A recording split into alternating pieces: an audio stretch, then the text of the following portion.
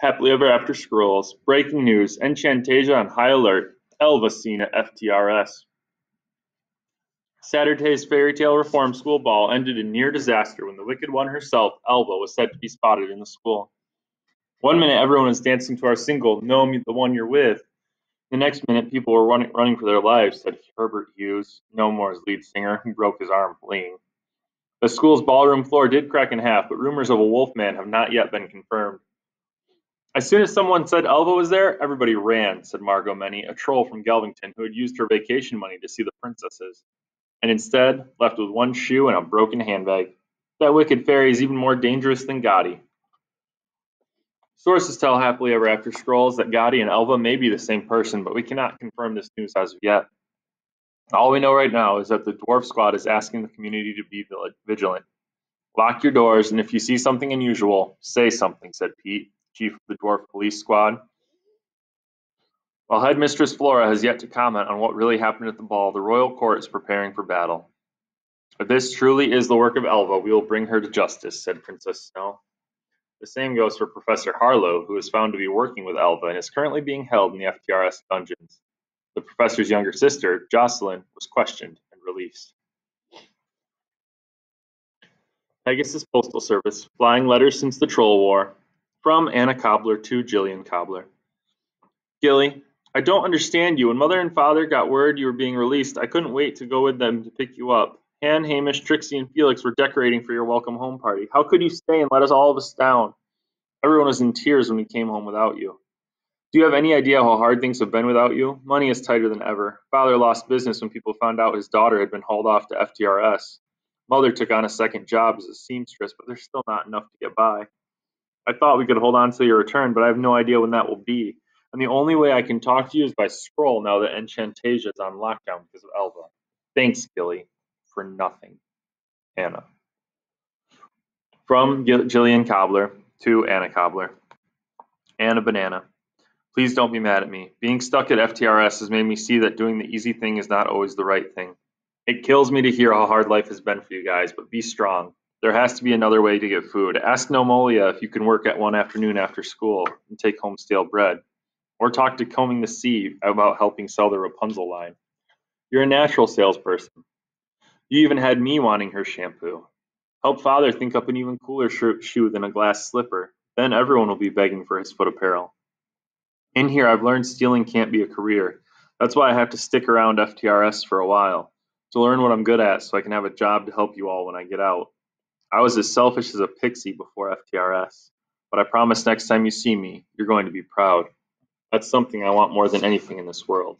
Love, Gilly Bean. Chapter 19 The End or the Beginning? It took almost a week for the FTRS crew to clean up the mess left behind by Elva. It took another for the students to be allowed to leave their dorm rooms unaccompanied by a teacher, which was tough since there wasn't enough staff left to cover the students. Harlow was in the dungeons. Madame Cleo was on a month-long spiritual retreat near the Enchanted Sea. Professor Wolfington had disappeared. Most of the students I knew still didn't understand what had happened. They were rattled, and they hadn't had to fight Sleeping Beauty's tormentor. It was time to get some answers, and there was only one person still around to give them, Headmistress Flora. The day we were allowed to roam the halls freely again, we made a beeline for Flora's office. Painters and workers were still hanging new art, painting walls, and cleaning rugs. The area of the school near the ballroom was off limits due to debris and unstable ground. For now, we were being schooled in the main building. Headmistress Flora insisted life get back to normal as quickly as possible, but we all knew things were anything but normal. Come in, said the wicked stepmother when we knocked on her door. I was going to have Miri call you down so I could talk to you myself. Please, have a seat. I haven't been in Flora's office since the day I stole a scroll to see what she had planned for the ball. Before that, I was there the day I arrived at FTRS. I think I'll stand. Flora nods. Understandable. She threads her fingers together. I believe you all have some questions for me. The five of us start talking at once. Flora holds up her hand. Maybe I should go first, she suggests, and runs a hand through the tight bun in her hair. I assume you want to know if your teachers were working with Elva. The room is so quiet you can hear Maxine's patent leather shoes tapping. Well, the answer is yes, Maxine inhales sharply, just not in the way you think. Flora rises and steps around her desk, much as she did the day I arrived at FTRS. Her dark gray gown makes her look like she's in mourning. We knew she had things planned for the Royals and Enchantasia. We just didn't know what. We met with her when we could in the Hollow Woods, making it seem as if we were ready to join forces with her. Sadly, it seems Professor Harlow wanted to for real. She looks at me intently. This was not a matter we wanted our students entangled in. Your safety is our utmost concern, and going up against Elva at the ball was foolish. She purses her lips. That said, without you and Professor Wolfington, none of us might be here today. Are you going to tell Happily Ever After Scrolls how awesome we were? Ollie asks eagerly, rubbing his arm where it was bandaged after Jocelyn's shield singed him. Or pardon us and let us leave early like Harlow was going to do with Gilly? Headmistress Flora shakes her head. I'm afraid that wouldn't be wise. Elva knows who you are now, and the safest place for you is here at FTRS with us. Elva is coming for me. She pretty much said that, and no one I know is safe until she's taken care of. I think of how we fared against her when we worked together. Kayla's wings got damaged from Harlow's magic, and she won't be flyable for a while. Maxine got away with a light, slight concussion. I have some more nicks and bruises, and Jax said some rocks fall on him during the explosion. He's on crutches. Still, we're alive. Have you heard from Professor Wolfington? Maxine asks. I always liked him, even if he did try to bite me in the dungeon. Flora shakes her head. He'll resurface when he's ready. I know he's inconsolable about letting his dark side out. It isn't easy letting the world see the monster you once were and hoped to never be again. Professor Harlow has no problem with that, I mumble. Flora raises an eyebrow. No, I'm afraid she doesn't. Hence her living assignment in the dungeon until further notice. I can't believe you let Jocelyn go, Jax complains. She practically let Harlow kill Gilly. Jocelyn is a troubled girl, Flora agrees, but she has assured me she was not aware of her sister's actual doings with Elva. We start to protest, but Flora cuts us off. Until I know otherwise, it's my job to believe her. She will stay here as a student, under my watchful eye, of course. I'm not sure that's smart, but we have bigger problems than Jocelyn. No one knows when Elva will strike again or what she has planned next. Jax hasn't been able to find out anything from his father. He made us swear not to blow his cover with Flora. For now, we have to keep some secrets of our own. I'm sure the former wicked stepmother is doing the same. My job is to watch over all of my students, including you, Kayla.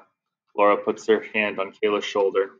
I know all about your deal with Rumpelstiltskin, and I promise that together we will find a way to lift the spell on your family. Kayla tears up.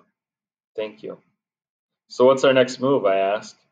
Your next move is to go back to being students, Flora says. Take a day off from all these dark doings and have fun. Fun? We look at her like she's grown three heads. Miri, tell them what I have planned, Flora says. Miri's brass mirror begins to glow. There's a picnic lunch set up in the garden and a game of dodgeball waiting to be had in the courtyard, which has just been cleared of debris. And I'm told the ice cream is melting, so you don't want to wait too long to get out there. I'm up for that, Ollie cheers. Good. Now go before I change my mind and have you write a paper, Flora chokes. I never thought I'd see the day. Oh, but first I have something for Jillian. She pulls a note with a royal seal out of her desk drawer. We gather round to read it. Miss Jillian Cobbler, thank you for your help once again in keeping evil at bay. Flora has told us of your father's shoemaking woes. Because of that, we would like to commission all glass slippers for the royal palace from this from his shop from now on. Princess Ella. Wow, does that mean someone in the royal family is actually nice? Jax says, feigning shock as he shifts from one crutch to the other. Who would have thought that would happen? I give him a look. Thanks, I say, blushing as I look at our headmistress. I'm sorry for calling you a step monster, and for, you know, thinking you were all a villain again. I still have a lot of questions, though. Flora looks mildly amused. Apology accepted, and I promise to answer more of your questions when you when your professors are back. You know, Jillian, Villains think they have the power, but the mistake they always make is the same.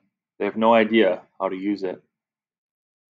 She scratches her chin. True power is learning how to put others first, not judge a book by its cover, so to speak. I think you're doing a good job of that here at FTRS, she pauses. But you still have a way to go before your stay is up.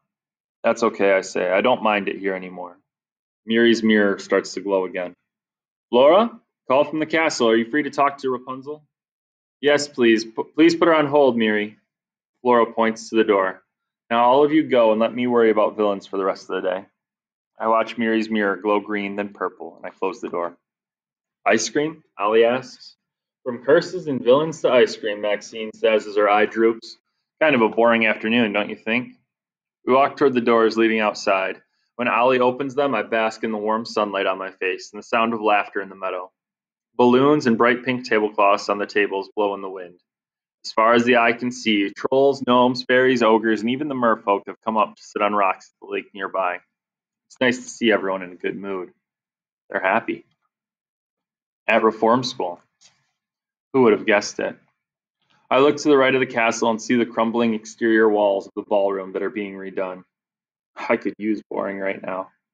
Me too, says Kayla. For a moment, her wings appear, battered but resilient, and then they're gone again. I know it won't be long before they reappear. Or I want to snag something we could use in battle. Or Jax and Ollie sweet talk their way into some intel we could use. The hollow woods lie in the distance, looking ominous and full of secrets that Maxine can't wait to uncover. Like where Elva's hiding, and how desperately a trapped Harlow wants to help her. But those are all questions for another day. Dudes, come on, they've got vanilla and chocolate. Ollie's reached the ice cream table and is already dishing it out. The ice cream oozes over the sides of the cups on the table. Let's go be bored together, I say, squeezing Jax tight as we head for the melted ice cream, an afternoon bound to give us the best kind of bellyache.